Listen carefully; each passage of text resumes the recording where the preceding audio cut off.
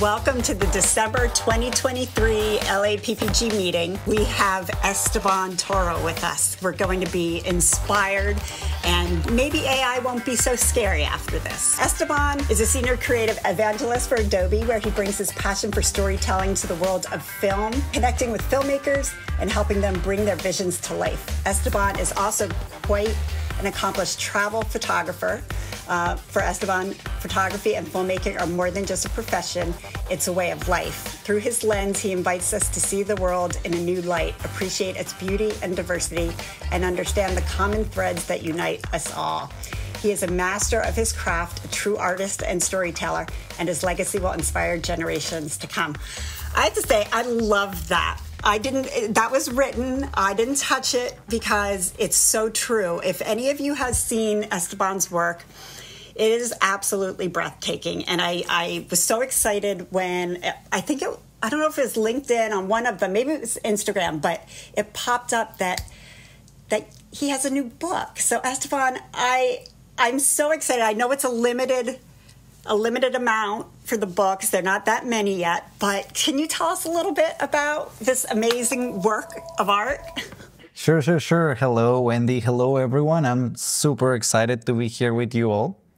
Um, yeah, we we've been planning this this webinar for the longest time, so I'm so so happy to be here. Um, yeah, the book I actually have it here. Thank you for for the shout out to the book. Basically, it's a photography book that I produce since the past I don't know I would say for the past seven eight years, and I was I started editing this book back in 2020. Uh, I really decided to take the time just to, you know, like calmly decide each image that will be there, the stories, and I mix my, you know, like I mix the photographs with an illustrator who actually builds some uh, images as well, some illustrations uh, based on my photography work, and you know, like yeah, that's basically how this book came to life. Uh, as you said, right now it's a limited edition. Hopefully, things will change in the future. Uh, but yeah, so that's that's a little bit about it. So hello everyone. Awesome. Well, I'm going to turn it over to you, but do let us know when it is. Uh, available for the wide audience because I will let our group know. Um, it's 700 and some pages, right? So, I mean, it's pretty comprehensive and, and beautiful. So, I'm going to let you go and thank you so much for being here. I want to show you a little bit about my work so you get familiar with what I do, and then we will jump directly into the software.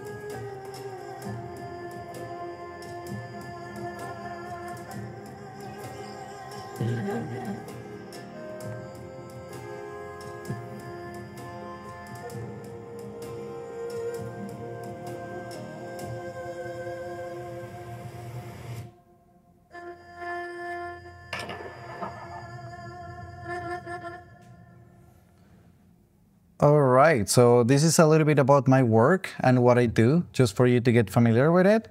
Um, so today we're gonna be talking about AI. I know it's the topic of the year probably, and many of you have multiple questions. I love to take questions, uh, so we will like more than happy to respond anyone any question that you will have. Uh, feel free to you know like chime in and, and go in the chat. And thank you, Jennifer, for your words regarding uh, my work. So we have introduced quite a few things this year using AI uh, at Adobe. Maybe you have heard about Firefly, maybe you heard some things about Photoshop. We have included some things in Illustrator. But I wanted to really focus our attention today in the things that you know are related to us video editors filmmakers and that is premiere pro and um, after effects so i'm gonna start sharing uh, about text-based editing. I think this is maybe our flagship for the year. I will be sharing again my screen. You will be able to see it in a second. And this is my premiere pro. So what is text-based editing? Many of you, I'm sure you can you can tell me in the chat, have been in this situation where you you are editing an interview or you're editing something that has some, you know, like audio and you end up like listening to the person again and again and again just to get the perfect, you know, like part that you want. So we have been there as well. Um, so we created a new feature, a new panel in the in in the in the uh, app that is called text-based editing. So how do you find it? There are multiple ways. I'm going to show you how you can even introduce um, videos into, into, your, into your project to create that text-based editing project. So the first thing, I'm just going to hit new project over here. I'm going to, I already kind of preset this. I'm going to choose a location where I want my project to live. I'm going to go to my desktop and I'm going to create LA PPG and I'm just gonna place my project somewhere here. Now, I'm gonna go wherever my footage is. In this case, I have a folder here in my desktop that is called demos and then 2024. And I have here some interviews uh, that we were filming a couple of weeks ago. Uh, this hasn't been released, so it's gonna come out soon. But I think I figure it will be a great footage for uh, this presentation. so I'm going to select these two clips. These are two interviews. Uh, it, it was like an hour interview. Basically what I did, I just cut it into 10 minutes each one, and then I just did some basic color, uh, color grading. And just for you to know, this is Cam A and Cam B. And I have this new module over here. So basically what you will see is automatic transcription. I can toggle it on or off. I will keep it on. I have English here as the main language, but I have 18 different languages and we're including more. And then you can decide whether you want to separate the speakers in case that you have multiple people talking at the same time during the interview, including the, you know, like the filmmaker and the interviewer. And then you can decide whether you want to transcribe only the clips that are in the sequence or all the clips that you import. I'm going to transcribe, transcribe only the clips that are in the sequence. So I'm just gonna create it here and then Premiere is going to open this for me. Okay, so now what is happening is that it brought it to like, you know, like my whole project and my sequence. I have, I'm going to erase this from here. Actually, I don't need this. I'm going to delete it from here. I have this new workspace that we included that is called text-based editing. So if I click over here to text-based editing, I will have a new panel that comes on the left side, and then I can see that I have my two files. When I click on any of these files, what I will see is that like Adobe Sensei, that is basically our Adobe, our AI, you know, like motor, like gear, is basically processing all the information, is processing the whole interview, is auto-transcribing it and showing it to me here. So probably many of you have already worked with this or maybe have seen it before if you attended NAB or if you attended IBC. We, we have been talking a lot about it, but I want to go on how it works and show you the details and some changes we have made. So the first thing that I like about text-based editing is that I can rename the speakers. So if I click just here, and then I go to edit speaker name, I can rename myself. I know that this is Esteban, uh, I know that the interviewer is the second person, and then I know that somewhere here is like the filmmaker. So I can just include that, and then it's just gonna automatically like change the name for all of them, so I can easily look through like the whole transcript, and then I want you to listen to this uh, interview just for you to get a little bit of a sense of how this was shot. Yeah, my name is Esteban Toro. I am a travel and photographer filmmaker. Uh, sorry. Yeah. Hi, my name is Esteban Toro. I am a travel photographer and filmmaker, and I also work for Adobe. Dude, I, I'm, I'm very traffic. I know where it's on the big, that was a big truck. Yeah, yeah. So we might have to do that times. So. Okay. One more time. Yeah. Hi, my name is Esteban Toro. I am a travel photographer and filmmaker, and I work for Adobe. So I'm sure this has happened to you many times if you have recorded yourself or if you're editing interviews, um, repeating and repeating. And normally, you know, you'll have to, well, I will wear my headphones and listen to it again and, okay, cutting here, trimming here, bring it here. Not anymore. I can just easily like read through the whole thing and then I can be like, okay, this kind of work uh, because I can see that, you know, like after I kept talking. So basically what I can do now is I can just highlight this part and then I have two options. I can either come here and press this button that is called insert or I can press the letter comma in my keyboard. So just, you will see it here and it just bring it into my timeline. Now, I can do, I can keep going. So I can be like, okay, tell us a little bit about yourself. I can skip that, where I was born. Maybe that's not so interesting for me. Okay, I wanted to be a musician. Yes, I want that. So bring it here. And so I was playing bass guitar and doing stuff. Great. And I will spend about six to eight hours, blah, blah, blah, playing. Okay, perfect.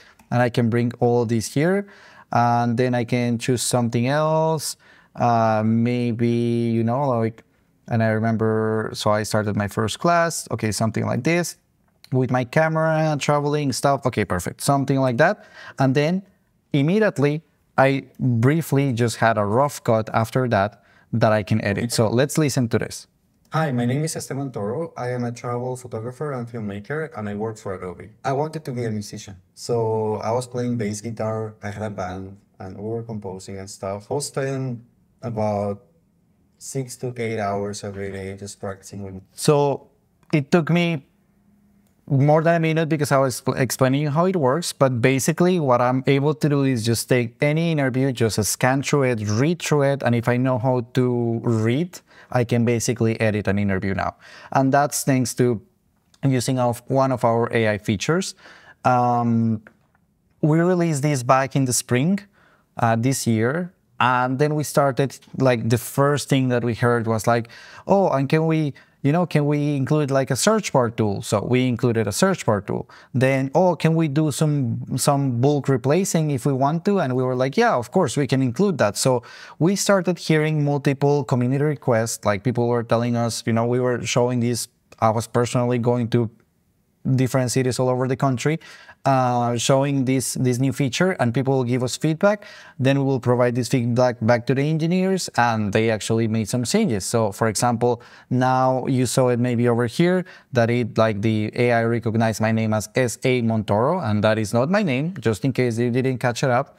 Uh, so I can just go to the search bar tool and go like S.A. Montoro. And then after that, I can just hit here replace and I can ask this thing to just change it for Esteban Toro and I can hit replace just for this word or replace all in case that there are more than one, you know, like wrong, uh, you know, like trans transcribe transcription over here by the AI and it's just doing it for me. So I can replace that. I can also look for pauses. So all these things over here are the ums, uh, uh, uh all these little pauses that you can have and filler words and all these things, you can easily change them and you can also, you know, like super easily just select them and delete them all if that's what you want. So now like, sorry, first we released like this new feature, then we heard what the community wanted and how they were using it. We have been, you know, like in consistent communication with top filmmakers and, and editors in the industry, listening how they're using it, and then we replace and included some new stuff for you. So basically what you have now with text-based editing is you can edit easily just by reading in a panel, and then you can also um, replace bulk words and you know like certain mistakes that the AI will not catch completely. We have also heard um, this in an ideal condition, and that's why I show you this interview. Uh, this catch catches the words perfectly, but I have noticed that especially when there are strong accents such as mine, um, it will, you know, like miss one word of two, so you can always replace it over here using the bulk editing. Another thing is that if you notice, I have a transcript panel while I'm on my main footage, right, where I'm working on this video over here. But what if I actually want to um, once I edited and I made my rough cut, what if I want to change something that is in the timeline? So when I click in the timeline, immediately I can see that it changes and the transcription to whatever I included here. So let's say that the greeting part, the hi, my name is Esteban Toro, I don't want it at the very beginning, but I want it at the end. So I can just highlight it and then you know this, this uh, shortcut, by the way, Command X, and then I can go to the very end of the interview and Command V, and I can introduce it here. So now it will look something like this. I don't know if this makes sense. Camera. Just, you know, playing with the settings. Hi, my name is Esteban Toro. So I can easily play with every part of the cuts that I'm creating in my in my project, just um, to you know just to play with it and you know play with whatever editing that I want to create, and that is text-based editing. but before um, we jump into questions regarding this, I want to show you one more thing. Something really common that I heard is like, that is great. Can I do closed captions or subtitles? And the answer, my friends, is yes. So how do you do it? You just come here to create captions, you hit that button, and then you'll have like all the preferences, like everything that you want, you know, like how many characters you want, like, okay, I want, you know, not so many characters, maybe I want the style to, you know, like how, depending how the style I want, the formats I want, you can change, for example, if you want single line, double line, I personally prefer single line, and then I can just hit create captions, and it's just gonna do it for me. So I immediately have everything. Hi, my name is Esteban Toro. There. I am a travel photographer and filmmaker, and I work for Adobe. I want If I wanna, and before I jump into the questions, I know that some of you will ask, and can I change the font? Because I don't know why we at Adobe choose that font to be the default one. I, I don't think it's my favorite. So you can just highlight it, go to Essential Graphics. If you, if you don't know how to open it, you can always go to Window and then go to Essential Graphics over here, open it there, and then you can change, you know, for whatever font you want. Uh, let's say that I want, I don't know, I'm gonna do something that will make no sense, so don't judge me. I'm editing live and this is this makes me a little bit nervous, but you can see it here. I'm gonna make it even uglier just by making it like, I don't know, super green because whatever. So there you go. I can change everything that I want just by doing a couple of clicks. Um, I wanna see if we have some questions uh, in the meantime regarding this. Okay, yes, we do. Um, from Emily Owens, uh, can you sync the Bcam to the text-based rough cut easily? Yes, you could if you bring the Bcam into like into the timeline and then synchronize it. But if you want to do multicam, and this is a really common question, just create the multicam first. Like you have the A and B cam, and then right click, like select the two files, multi, uh, create multicam sequence, and then you will have a multicam sequence, and then you can just use the same transcript panel and even decide how to edit simultaneously. So cam A, cam B in this part, and as you would normally work with multicam, it works with the text-based editing. So I would rather that do that at the beginning than then just trying to synchronize the Bcam. So yes, you can do either way. Excellent. Thank you. Okay, I think we're ready for the next one. Cool. So another one that we have is um, so we released this year um, one feature that was called or it's called Adobe Podcast. And let me actually, I'm going to share my screen over here with you. Okay, so I'm going to show you podcast.adobe.com. So if you go over here and you log with your account, I'm logged out, you can see. Um, you can see that everything that I have, like everything that is here is based for any audio track that you, you can create. So you can check your microphones. If you're running a podcast, you can use this option that is enhanced speech. And then you have like another option that is studio. Every, all of this is using AI, is web-based and is accessible by, you know, if you have any Creative Cloud membership, you will be able to access this. So we released, like we noticed that people were using a lot like enhanced speech to clean some audio tracks because it was doing a really good job. So because we heard this, from you guys, uh, we decided to include it this year um, in the beta.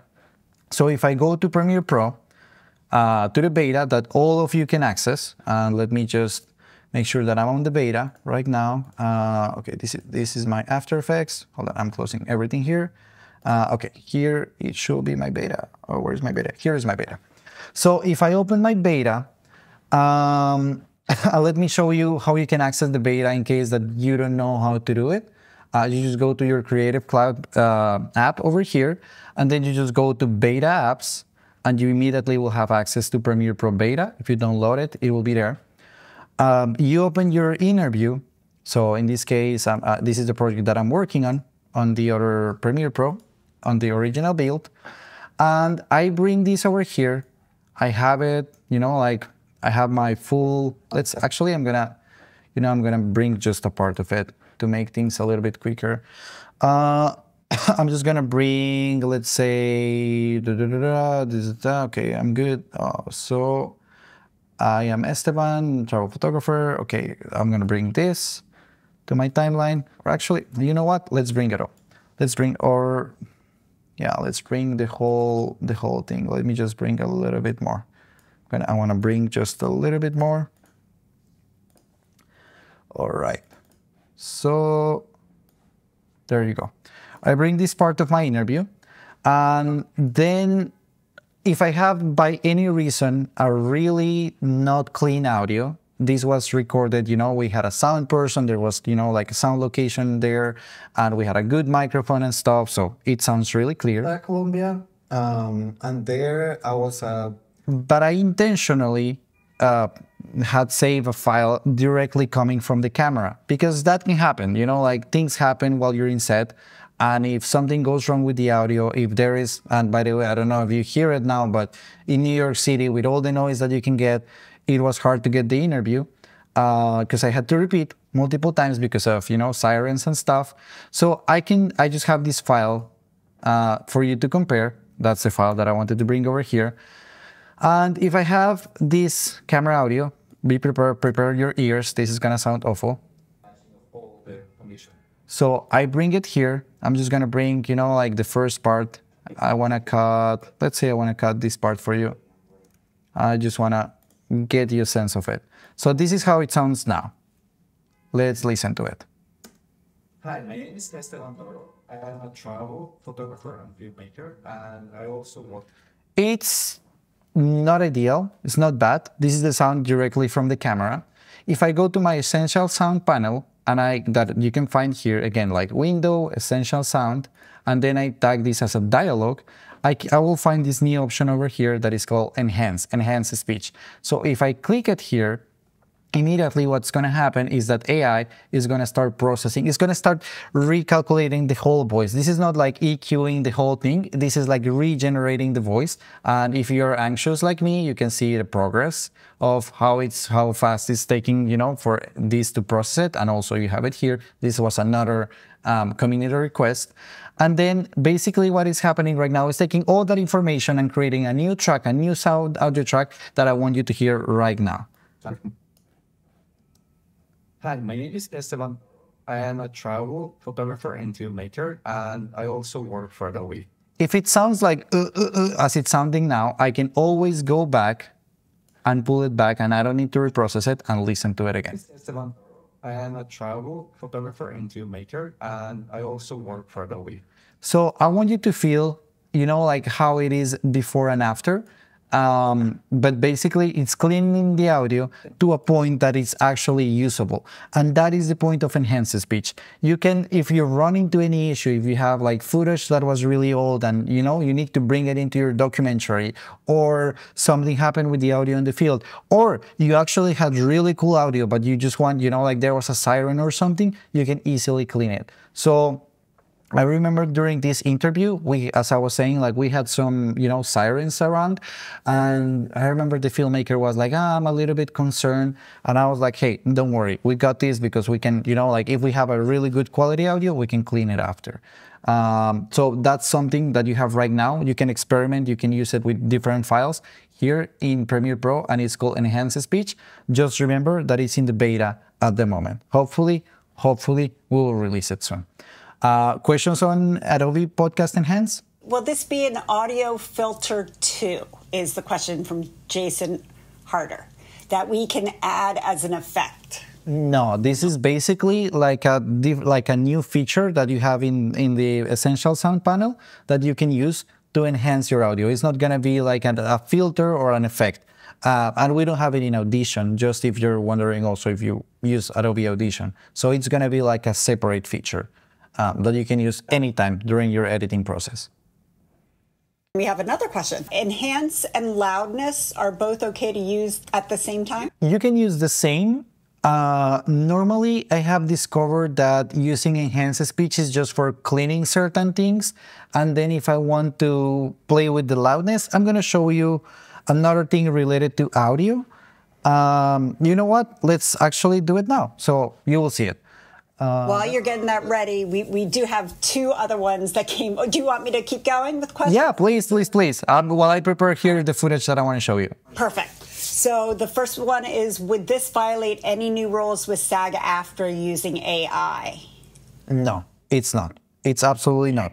So everything that we're training is trained on uh, material that we have the copyright of. So it's all like we have put a lot of effort, especially if, if you want to see it from that perspective, like Adobe has taken time to really be conscious about how we're training our AI models to make sure that it's basically commercially safe. So, yeah. Got it. And I, I do appreciate that.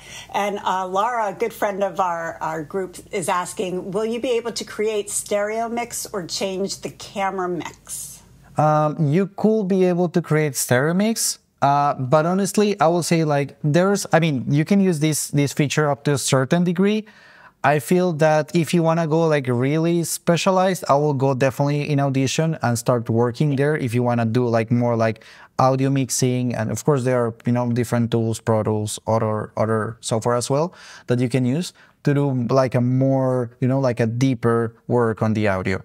Um, Understood this is something that I will use normally, you know, in a in a project like I don't know, I have to do an interview or I don't know, you know, like a soundbite for something that I'm promoting. I record myself in New York City. It's noisy. I clean it here.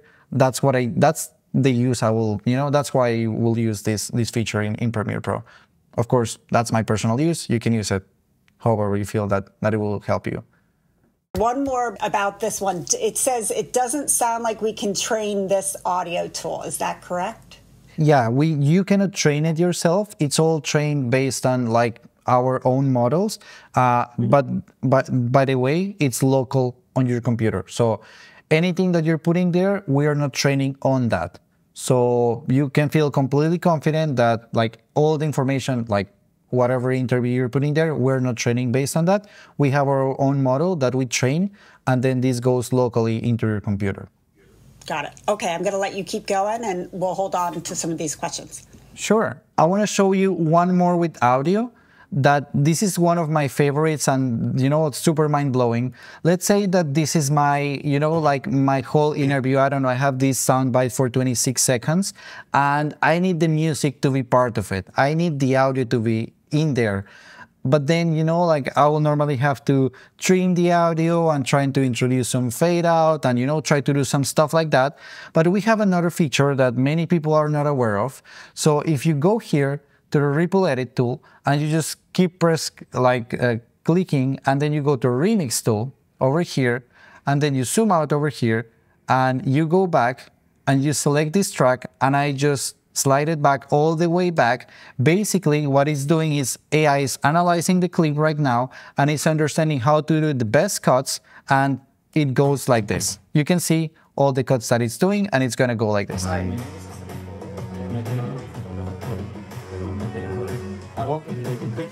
Sorry about that. Let me just show you. Let me stop this so it will make sense. Music. Okay, okay, let me bring it down a little bit. I was Not so about let me just do it like this. Six to eight hours every day was practicing days to talk, waiting, waiting, waiting. And then one day I was having a conversation with, with a person and, and so girl mentioned something about photography. So basically what it's doing right now is deciding the AI is deciding the whole length of the of the soundtrack, how to like shrink it down in this case, but I can also extend it. So if by any reason I have the same track and I have like a super long interview, uh, you know, like let me actually just bring the whole thing to my track, to my pro, to my um, project over here. So I'm just gonna bring the whole thing, the 10 minutes, and I just put it here, and then I need the music now it's not long enough. So what I can do is use exactly the same tool, Remix tool, that's how it's called, Remix tool, and you find it just clicking here, and then I can just do the other way around and it's just extending it. So again, it's just gonna create another version of the song that is gonna be like seamlessly adapting to whatever you're producing. So let me just bring it a little bit here.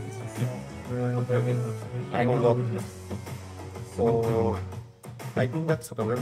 There is nothing big like people do like being I and stuff. That now I was traveling before I became So as you can see, it's basically making sure that the music is consistent and it's just making sure that you can have whatever track audio uh, adapted to whatever project you're working on.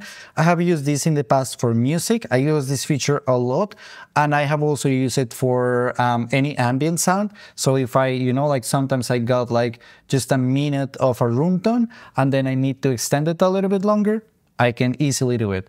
Um, so this is something that you can use, and it's been there for a while uh, using AI. Um, this is really cool. Uh, I love this feature as well using AI. I'm going I'm going to use my same project, even though that it has nothing to do with it. I'm just gonna erase everything that I have here. I show you my trailer that I you know that I my reel that I love to show. Uh, sometimes I have been asked like if I can replace one frame or two, you know, like one scene or another. So usually, you know, it's kind of pretty annoying just to have to, you know, go and frame by frame looking and then cutting and stuff. Well, now something that I can do really, really easily is once I have this over here, my clip over here, I can scroll down and let me just find the option for you. Uh, scene edit detection. If I hit click here, basically what it's gonna do is gonna read my whole um, trailer that you saw that is like, you know, multiple images over another to make like, you know, like this really like powerful, you know, and vibrant like movement for a trailer. And I can decide if I want to apply a cut for each cutting point, if I want to create a bin with from each detected point, and then if I want to add a clip marker. In this case, I'm just going to use the subclip bin, and I'm just going to create one bin for point. Then it's going to analyze it. And as you will see, basically, again, using AI, what is happening right now is that it's the uh, Adobe Premiere is reading the whole the whole clip, the whole clip, the whole clip, and then it's just breaking it into pieces for me, so I can easily go and be like, oh, so you don't want the you don't want this one? Easy. So I can just remove it here and find something else and replace it and done. But also if I, let's say, you know, like I want to just have like whatever folders or whatever clips, I have everything cut into pieces for me and organized in a bin uh, automatically and I didn't have to do much. So if you're, if you ever have to do this, maybe you have to do it now and then. Um, again, super easy. You just click on, on, the, on the track uh, when it's in the timeline and then you go to scene edit detection and it's just gonna do it for you just right here. This is the one that will cut it into um, little chunks. And let me show you another one that I like. Hopefully this is, I mean, let me see. Let me see what can we use. Let's try with this one with the same interview that I've been using. Um, yeah, let me bring it like the first rough cut over here if I already cut this interview over here and then I decide, you know, like, oh yeah, cool, Esteban, that's a nice, nice cut, but I also want it for social media. So I also need it for social media. What can I do? Well, really easy. I go to my sequence over here, then right click, and then I can go and select auto reframe sequence. So if I click auto reframe sequence, again, AI what's gonna do is gonna ask me, what do I want? A square, vertical, 916, 16.9, whatever I want, or custom. And then if I want to nest the clips or not to nest the clips, in this case, I'm not gonna nest the clips. And then I'm going to create it. And basically what's gonna do is AI is gonna try to track and you can see how it's tracking. I'm glad that it did it perfectly in this case. And it's gonna track whatever is happening and making sure that it gets attention. So Hi, my name is Esteban Toro. I am a travel photographer and filmmaker, and I work for Adobe. I wanted to give easily, just with one click, I can have the vertical version for social media or anything vertical that I want. And then I can also have um, the horizontal one that I think is really cool. This I can tell you, in 90% of the cases works really good. In some other cases, as the docking one was like, oh, sometimes you have to, you know, tweak a, you know, a thing here and there, but it's gonna just facilitate and speed up your work so much better. Now, this is something really cool that it's how you can connect like multiple software in your, you know, like in your workflow. Uh, this year we release uh, generative fill in Photoshop that basically helps you to, you know, like fill and create like basically what it's doing is using AI is interpreting your images and creating something else out of it. What majority of people don't know or has no idea is that you can also do it for video. So this is where I find it like absolutely fascinating for filmmakers. Hopefully my computer is not gonna explode. Uh, come on, Photoshop. Yeah, cool. And then what I will do normally is just bring my track. So let's say I just bring this interview over here. I'm just gonna drag it into, into Photoshop. Then it's gonna read a video format. I don't need this right now. And then I will have these tracks over here. What for I want to bring my video into Photoshop? Well, easy. Let's say that I have this format over here, but what if I want to extend it by some reason? What if I need, you know, like a little bit more like widescreen on this side and a little bit more widescreen on this side? So what I'm to do is basically go into my tracks. By now, don't do anything. And then I'm going to add a new video group just over here. I'm going to click there. It's going to create basically, it's called video groups in uh, Photoshop, but it's basically a video track. And then I'm going to go to um, cut, the, the cutting option, the crop tool, and I'm just, that I just use the, the shortcut C. I'm going to extend it on one side. I'm going to extend it on the other side. And as I am extending it, I just, I leave this this um, prompt blank. So I just leave it empty, generate, and basically what AI is going to do is going to interpret whatever is happening in the video, whatever is happening on the edges, and it's just going to create an image for me. It's going to also give me three options, three variation options that you can see here on this side. Is loading, is loading, I never know what to say, and boom, you have it. I just immediately with, you know, like a couple of clicks, extended, uh, you know, the sides of my, my interview, and I always have three options. Uh, usually I like one, but if you want more, you can always generate more. And if you want to introduce a prompt, you can also do it. But I actually love how this is looking, you know, like look at the details of the plant. And yes, this is a video. So you can play it right now, uh, hopefully. Uh, yeah, continue the videos. I don't, I don't need this right now. And I'm just gonna play it. So you can see that I have the whole track um, just to play. And what if I want to bring something else? What if I want, you know, like this is kind of empty here. So what if I actually want to, you know, like generate something here. So I'm just going to make a, you know, really brief selection, generative fill, and then I'm going to introduce like a plant. Let's see what it actually generates. And in the meantime, I will take questions regarding this while we wait for this to load. What video formats, this is from Michael Kamas, what video formats can you bring into Photoshop for generative fill? So ideally, I have tried especially with MP4. So I will, you can try, it, it will be a nice experiment. Look, I'll be really honest. This is not Premiere Pro. So I will not bring a raw file from a RED or you know, like a Blackmagic, or I will not bring like an ARRI or a Sony FX3 raw file here, uh, or Burano, or, you know, I think it maybe it will kill your computer, or maybe it will kill Photoshop, maybe not. You can try. Um, I will normally do this when I just know that I need to extend a little bit, or that I want to correct something. So you know, if I wanted to spend some time, I could perfectly erase this, you know, like the frame of the windows and I could create something else. It's something that I will do kind of as the last part of my edit, even after I color it. Because, you know, like if you have to color after, maybe it's gonna look a little bit strange. So this will be like, you know, I have my final track, MP4, I bring it here and that's where I will edit it normally. Uh, I didn't like so much this plan, but let's generate another one. And if not, I will generate something else. And then you can, of course, export it and keep editing somewhere else. Can we round trip between Premiere and Photoshop? Unfortunately not. This is something okay. that I wish. Um, let, let, me let me reframe it this way. I, I, like this plant, and look at this. This is interesting. Like even the you know like the depth of field is kind of like really matching whatever is happening in the rest of the video, and I just want to point that. Um, let me ask you one question. Would you guys like to have this feature in Premiere Pro so you don't have to go back and forth, let me know in the chat. I will just put that question there. Can you show again how to access the video feature real quick? It's super easy. So the way you do it, again, I honestly didn't have to do much. I literally just dragged and dropped a video into Photoshop and it automatically brings uh, the timeline um, section over here that if you don't find it, I'm sure I just have my zoom, you know, controllers on top. I cannot see it here, but I'm sure that if you go to window, there must be a timeline option and that will bring you a timeline for video.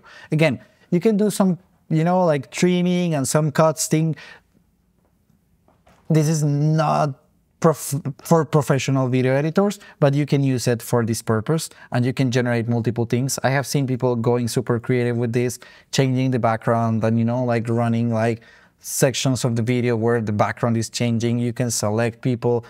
You can go really creative with uh, this feature. So just drag and drop into Photoshop, open Photoshop, drag and drop your video, and then you have it ready um, to edit and play with generative fill in Photoshop. Okay, so let's go to for scene edit detection. Can you export the individual clips? Used to be you couldn't, but maybe this has changed. Yes, you can 100% export like each one of the individual sections, and you can do it, and I think that's that's great. Great. And Andrew Gust is asking, is there a way to use the auto transcription to tag an existing script similar to Avid ScriptSync script-based editing?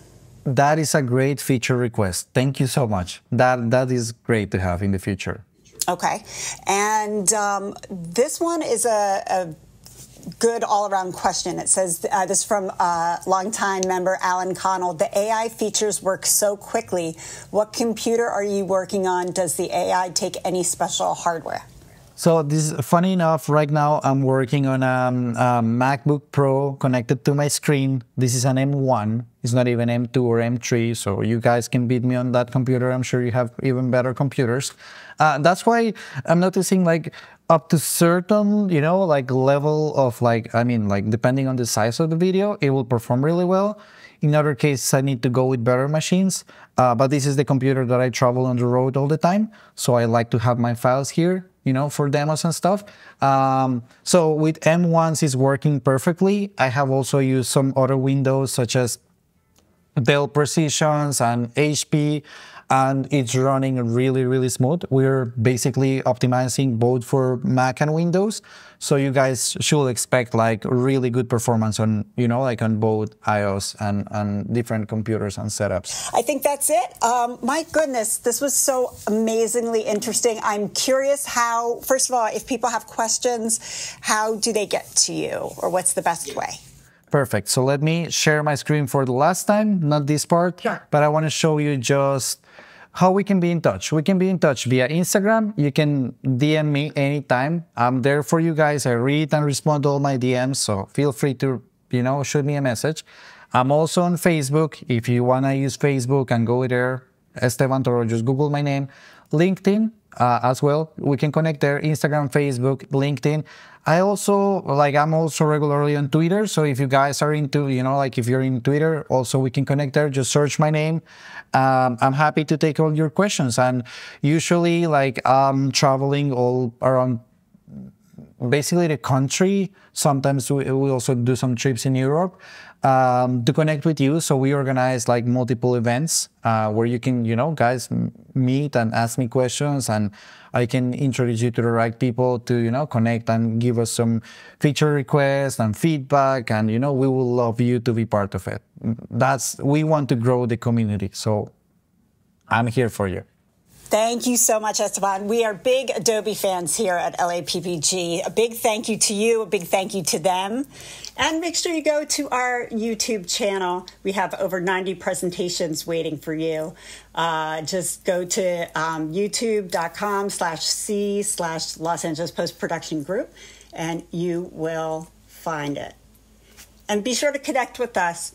Uh, Facebook, Instagram, X, and LinkedIn use the hashtag LAPPG. And a big thank you to our partners. At the platinum level, we have AJA, and at the gold level, Adobe, Blackmagic Design, OWC, Zeiss, Frame.io. At the silver level, iZotope by Native Instruments, SGO, EditShare, and Avid and a whole lot of other companies that are supporting media and community partners of ours. We thank them all for their support. It really does take a village. And just a, a heartfelt wish for uh, a wonderful end of the year to everyone. Um, I hope you have a safe uh, holiday season, and we look forward to seeing you guys back in 2024.